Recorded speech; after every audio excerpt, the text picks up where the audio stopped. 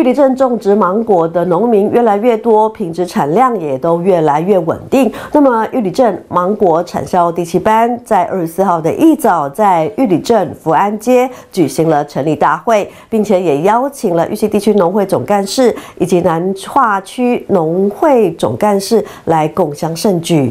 玉里镇种植芒果的农友越来越多，品质产量也越来越稳定。二十四号一早，玉里镇芒果产销班第七班成立大会在玉里镇的福安街举行，并也邀请玉溪地区农会总干事以及南化区农会总干事来共襄盛举。玉里也也现在种的人，像班长讲的，也越来越多，包含连东风那那边也有在种，大屿三民那里也有在种，所以大家都希望说，是不是我们能够。在玉里的这个部分，就单独成立一个产销班的部分。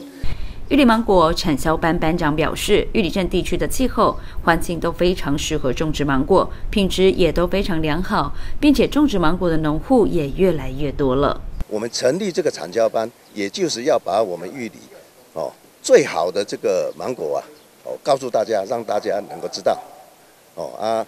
芒果在玉里已经有了，在花莲县玉里。哦啊，有一个这个哦高品质的这个芒果，哦啊，就是说希望哈啊大家能够这个对我们本地的这个农产品的